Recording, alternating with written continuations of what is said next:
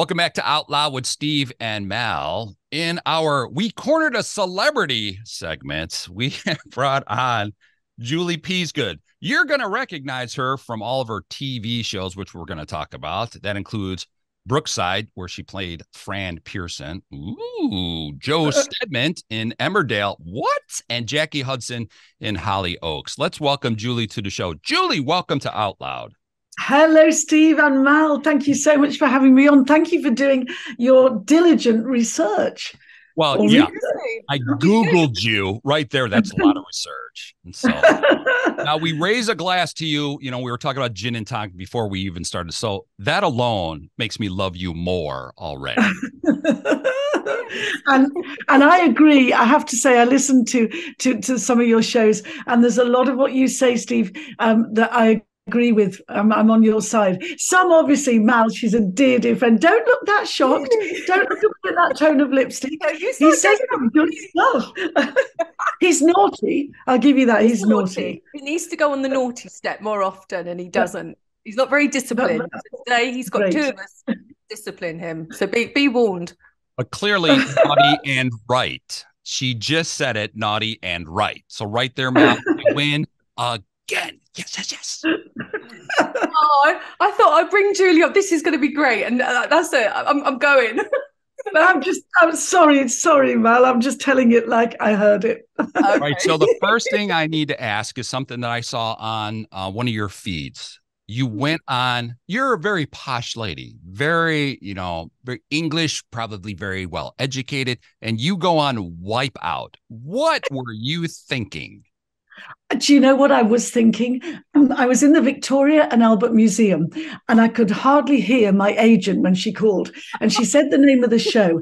And there's a show over here where you dress up in sort of a complete silver suit. You look like a sort of chicken that's going to be oven roasted. It's not a good look. But all you have to do is, is sort of jump through a hole into a swimming pool. It's easy. You raise money for charity. And I thought it was that show. So I'm hardly hearing her. And with all these hordes of people, people. It was a David Bowie exhibition. It was brilliant. And I said, Yeah, sure, I'll do that. If it's for charity, why not?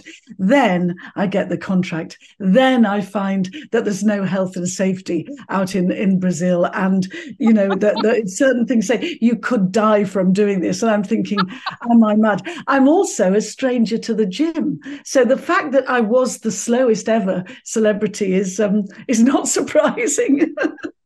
It's something to be proud of because Mal and I were going to do something like Wipeout, which is uh-huh. wasn't that one of the name of the shows we were going to call instead of Out Loud, like Wipeout? Wasn't that one of the names? Mal? I've got a clue what you're talking about. I think you dreamt it. I dream of a lot of things, but there you go. So you so you go from Wipeout. Is there a show that you would like to do now? I know there's a lot of uh, I don't know. Do you guys have Survivor out there? Like you, you live in the jungle or anything like that? Would I'm you a celebrity. Like I'm a celebrity. Yes, I'm a celebrity always fascinates me because I have eaten some pretty weird things in in my time. So um, I have actually eaten testicles. So that wouldn't be a surprise. oh, ow, ow. Balls, testicles, no, no. testicles. They're disgusting. They kind of flag your mouth. They stay in your mouth for about three days. Julie, um, was it a date? Why? Why did you eat them? I, was on the Alan Titchmarsh show and they asked me to, and I'm kind of a oh. pushover. Somebody says, you know, I've always been like that. Testicles. Yeah. Testicles, why not? Everything why not? new experience. Wow. Um, but there is a show called Would I Lie to You? And I would really like to go on on that because um, it's fun. That's all. But yeah, some of the, those big shows, I wouldn't fancy. Um, I don't think Big Brother's still going. Is Big Brother still happening, Mal? I don't think it is at the moment. I think it's unfair, but the, you'd be great on I'm a Celebrity. They need you in the jungle, Julie. I would. I would enjoy it. I'd, I'd love the fact. Well, my daughter Kate just would love the fact that they put you up in that incredible hotel out there, and she Absolutely. Can... so Kate gets a good holiday, and Mum goes in the jungle. Exactly. Did worry you, kind of jumping out of the helicopter or um, kind of Hugely. doing things? Yeah, yeah. Yeah, I'm really scared of heights, but I'm also somebody who tends again and again to uh, kind of go out of my comfort zone. I, I, suppose I have a need to do that. Do either of you do that? I do. I've oh. done on a planes. I've done all that. And the worst that Mal has done is uh, you know, four star hotel. That's what I heard. That's her. That's roughing Oh, it for her. too, you're No. too cool. it was the 4th of July when Steve said, Will you free fall on this show? And and there was no plan and going live to the whole of America last year. So I did make a jump and we're still here. So Oh my gosh, you're brave. I'm Wow. very brave. Yeah. And Not very Steve's me. smart, or maybe she wasn't very smart. Or She's very like, stupid. "I will trust you," and I'm like, "Sucker." I'm full of admiration. Now, I like the idea. Now we still have Big Brother here, so maybe we can have an Out Loud Big Brother. Could the two of you be in Big Brother? Would you go after each other? I mean, it's obvious that you know each other. I adore her. Why would I go after her? Go after. We'd look out for each other. We'd be the, the, Bet. the kind of, yeah, power girls in the house. We'd go after Yeah. everyone else. We'd have each Yeah. Other. I know Mal would try to get me out of the show right away, but Julie, you I and I, we just butt, connected. yeah. We just connected. Yeah, yeah, I think we'd, yeah, yeah, yeah. But you know, you know, Steve, when Mal and I first met, we connected kind of really instantly. It was, it was, uh, yeah, it was. I wouldn't say you my first sight, auntie. You You might get my the wrong auntie, weren't idea, but you know, yeah, I was your auntie, your Yeah, naughty so I've claimed her as my auntie for life now. She can't escape. Oh, auntie Pam. Auntie, yeah, there you go. A naughty aunt. Oh, the male listeners are going, oh, let me tune in. Let me. Yeah. Yeah, I always seem to play floozies. I played a floozy in Brookside and a floozy in Emmerdale and a oh. floozy in, in Hollyoaks. Yeah, I seem to get Wow. caught as, as you know. So, naughty Julie, I was thinking earlier, you've done all these amazing roles in soap. If you could have casted yourself in any role that you have seen other actors or actresses in, what would it be?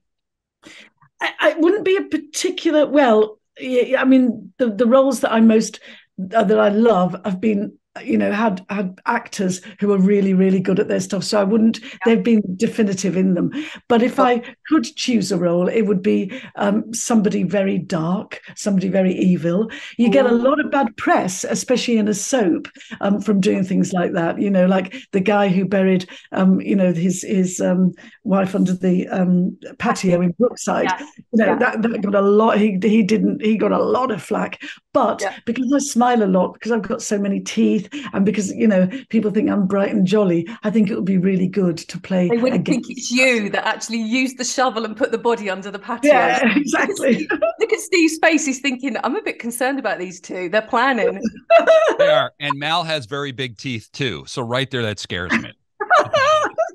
He's just got turkey teeth, Julie. It's really rude. And I haven't been to Turkey. So yeah she hasn't got big teeth she's got nice teeth Oh, they're all fake. We know He's they're all fake. mean. He says they're fake teeth. I've had loads of DMs, people asking where I got my teeth from. They're like, they're mine. They're my teeth. kidding oh wow I know. nice. You He's know, just see, mean to me. So mean. He's like my, my, my kind of big brother. Now I spent a little time on a soap opera as well. So maybe you and I could have a few scenes together. that would be good that would be Lucy and nice. the doctor. I could play a doctor. Dr. Lucy Steve. and the doctor. you know, actually, I could see you as a doctor. You really do. You really could be a doctor. In fact, you've almost got. I know it's not your stethoscope round your neck; it's your your earphones. But Dream on. Dream on. And then, of course, we cannot cast Mal as the nurse. We can't have any of that. Okay, But I'm Okay. here. I could Um, be the nurse. I'm fine.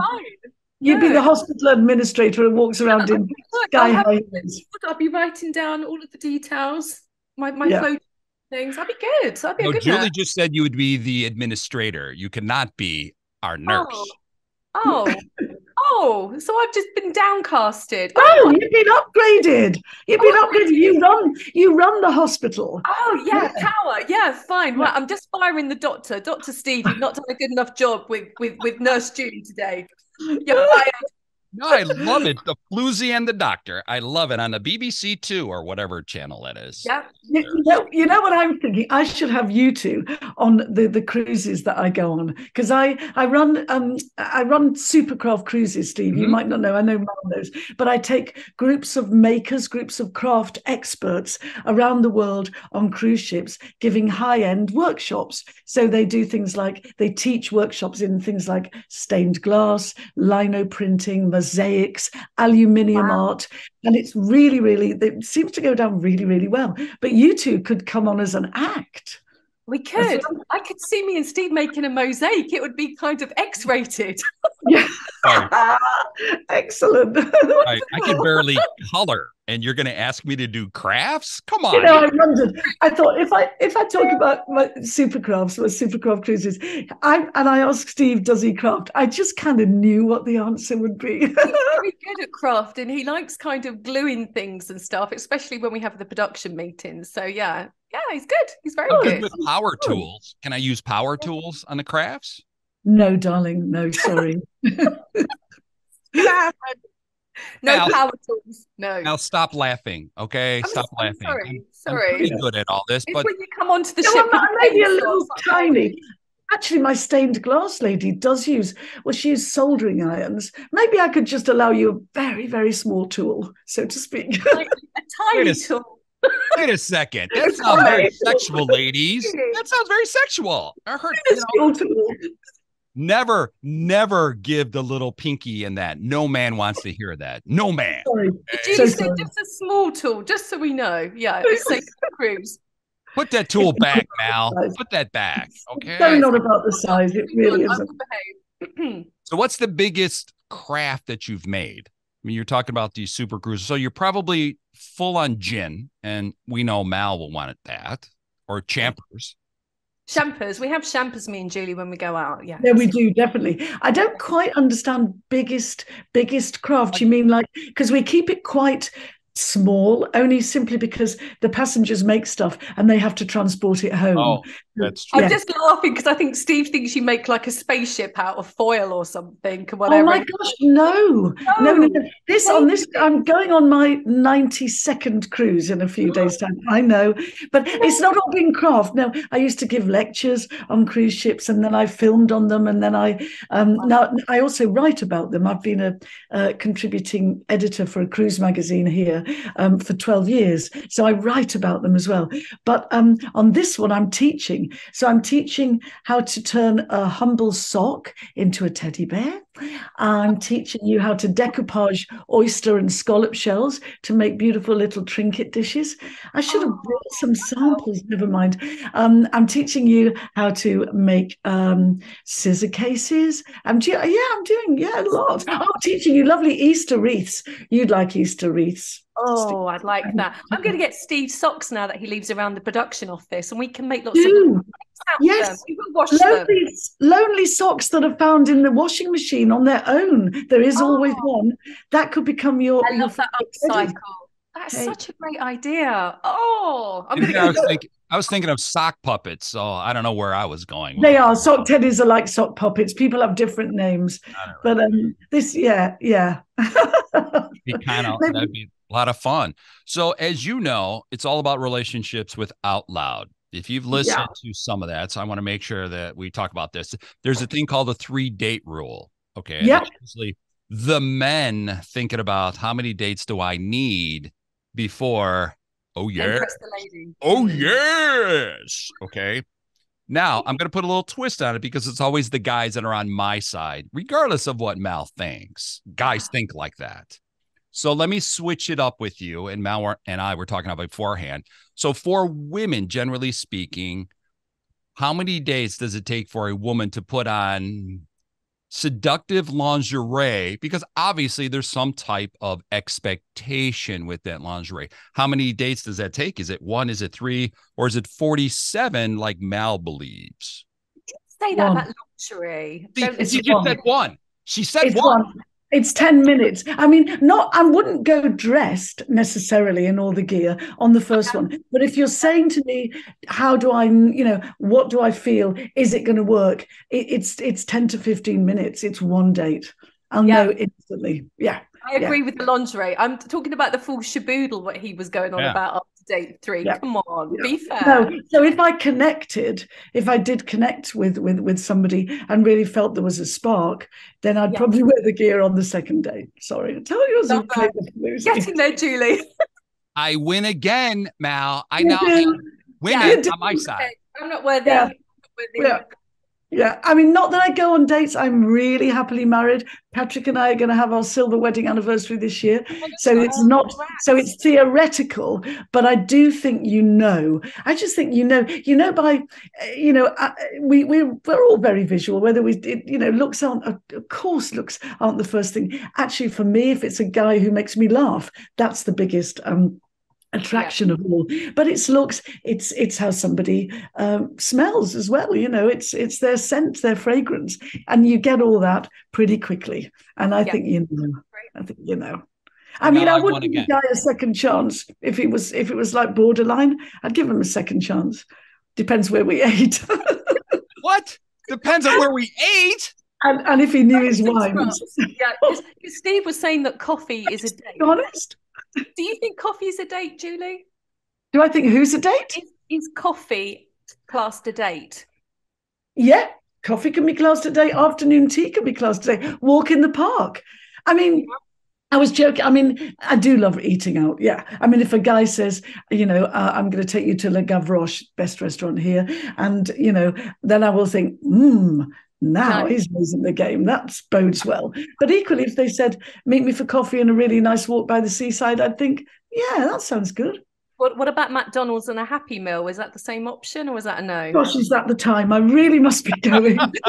You're out, Steve. It's not going to work for no. So no on every level. or Dunkin' Donuts, because that's Steve's option. So yeah, there you go. No, Steve, please.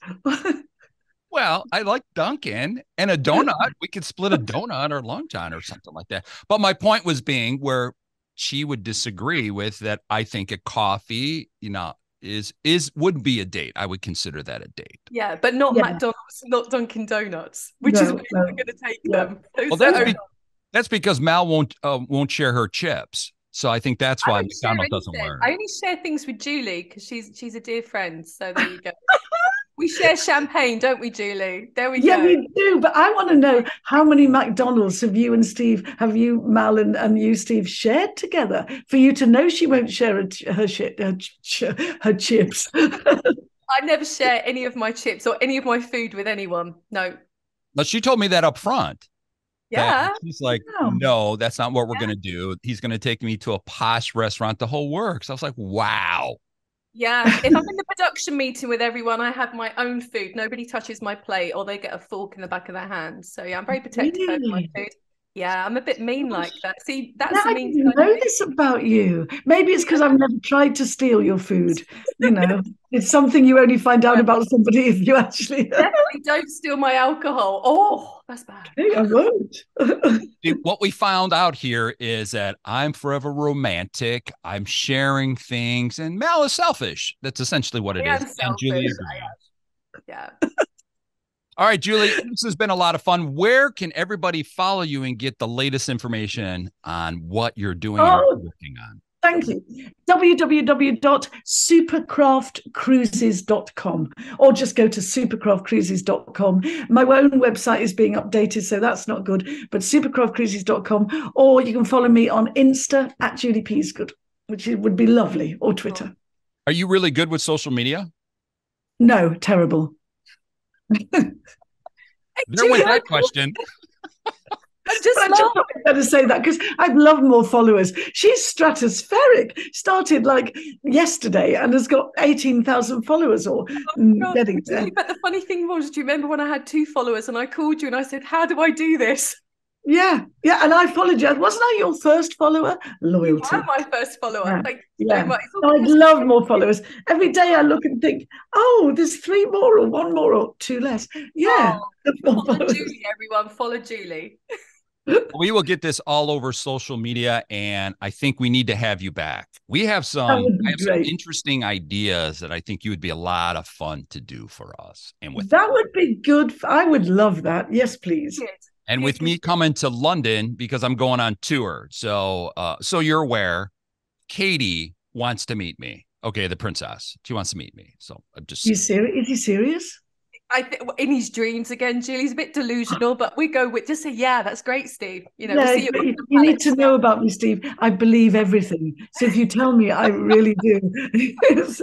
We need to send her. dinner with Katie next week. Yeah, so we'll hear all about it on the next show. I need to post to her my uh my video of me screaming for Katie, and then the crowd, you know, saying yes. Outside Buckingham Palace. Yeah, he nearly got arrested, but uh, it, it was fine. We managed to get. I'd like to see that. I'd like to see that. We'll share on our Twitter. Julie, thank you so much for joining the show, and we will have you you. back. I think we need to keep having you come back. Thank you, Steve. Thank you, Mal. Don't let him bully you. I won't. And you're so mean. I know. It's because he's American. It's fine. Us Brit Bully's girls need to stay together. But he is funny. He is Yeah. funny. Don't tell Bully's him that. mean. His head will get big. Mm. Thank you so much, Julie. Take care. Bye. Lots of love.